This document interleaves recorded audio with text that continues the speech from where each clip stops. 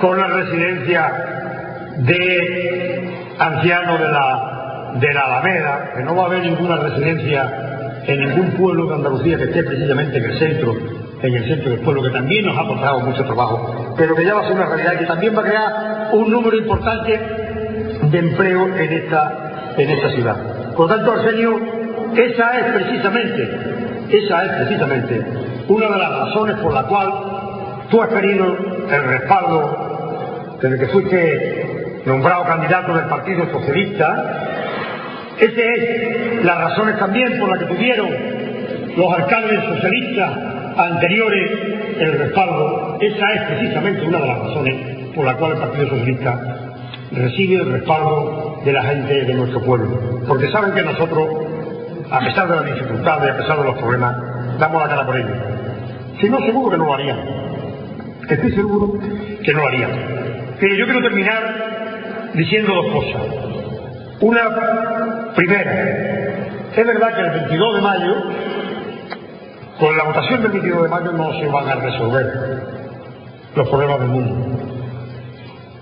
Eso es verdad. No se van a resolver los problemas del mundo con la votación del 22 de mayo, pero sí se van a resolver. Yo creo que incluso no se van a resolver muchos de los grandes problemas que tiene Europa y que tiene también España, pero sí se van a resolver muchos de los problemas más cercanos a nosotros, a nuestro espacio, allí donde vivimos. Ese sí se va a resolver con la votación del día 22.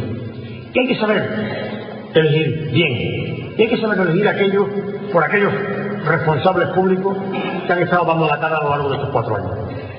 Y hay que saber elegir por aquellos responsables públicos que han estado hablando diariamente. Yo también lo sé, me lo ha comentado muchas veces Arsenio, me lo ha comentado también muchas veces mi hijo Javier y Javier Almagro, la de gente que ustedes residen en vuestro despacho precisamente con muchos problemas económicos, no solamente de desempleo, sino con problemas económicos.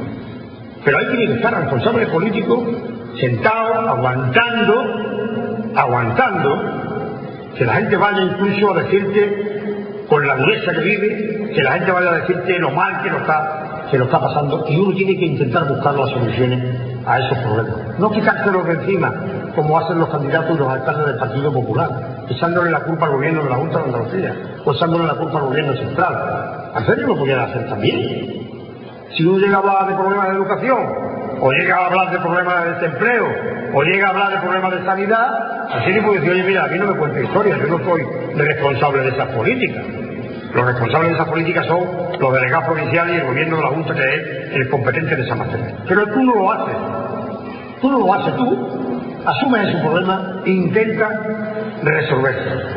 Por lo tanto, eso vamos a hacer lo que vamos a resolver el 22, el 22 de, el 22 de mayo. Vamos a resolver precisamente a qué político, a qué partido, a qué partido le damos la confianza, depositamos la confianza con él, el apoyo.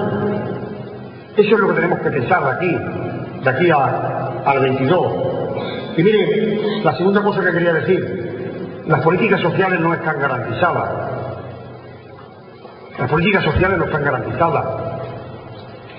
Lo he dicho antes en mi intervención. Eso depende de la voluntad política del gobierno, que gobierne en ese momento, y del alcalde y del equipo de gobierno municipal. Esos son los que deciden al final cuál es la prioridad de su gobierno. No hay ninguna ley que obligue a ningún gobierno a poner en marcha las políticas sociales. Depende de esa voluntad. Y como los socialistas tenemos esa voluntad clara, decidida, de apostar fuertemente, de priorizar precisamente por ayuntamientos donde vivan bien los jóvenes y tengan su empleo y su, y su horizonte despejado, por donde vivan bien nuestros mayores, por tener las calles limpias, por tener guardería, por tener colegio, por tener un buen centro de salud, por tener una residencia de ancianos, por tener un parque, tener un parque, digo, un polígono industrial como el de la famosa, por ampliarlo, por dedicarnos precisamente a la defensa de los intereses de nuestra gente, de la gente de Alcalá de los Esa es precisamente la opción que hay que elegir el 22 de mayo. Y lo tercero que quería decir Estoy convencido de que eso va a ocurrir, pero no tengamos confianza ninguna. No tengamos confianza. La confianza no es buena, no es buena consejera en estos momentos. Nosotros tenemos que estar peleando por el último voto hasta el último día y hasta la última hora. Porque te voy a decir una cosa. Te voy a decir una cosa. Lo he escuchado por ahí. No sé si será un rumor o será una realidad, pero se lo digo a todos aquellos que estáis aquí para que se lo digáis a los demás que no están aquí, que son vuestros amigos, vuestra familia, que se lo digáis de aquí al domingo. Cuidado, cuidado porque, porque puede haber gente del Partido Popular y gente de Izquierda Unida que estén tentados a ponerse de acuerdo entre un partido de derecha y un partido de izquierda para que no gobierne tú si no sacas la mayoría suficiente para gobernar. Cuidado, ha ocurrido ya aquí, en la provincia de Cádiz, en muchas ocasiones y en muchos sitios, que ha hecho un esfuerzo el Partido Socialista por conseguir el respaldo mayoritario de su pueblo y de su gente. Al final no ha sacado la mayoría suficiente para gobernar solo y se han puesto de acuerdo los comunistas con la derecha, con los del PEA, con todos los partidos políticos para arrebatarle, para arrebatarle la alcaldía al Partido Socialista.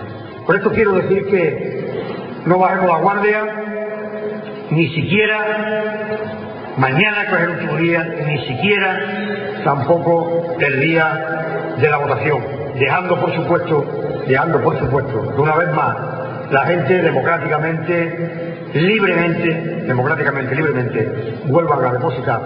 Y eso os lo pido a todos los que estáis aquí, gente que lo conozco, que conozco, gente que considero que son, gente cercana a mí, amigos amigos muchos míos, os lo pido sinceramente, volver otra vez a depositar la confianza en el Partido Socialista, la confianza en Arsenio, la confianza en la lista del PSOE, porque no os van a defraudar. Estoy absolutamente convencido que así va a ser, porque así ha sido desde la primera vez que nos presentamos a las elecciones en el año 1979. Nada más, muchas gracias, ánimo y a ganar. Y ahora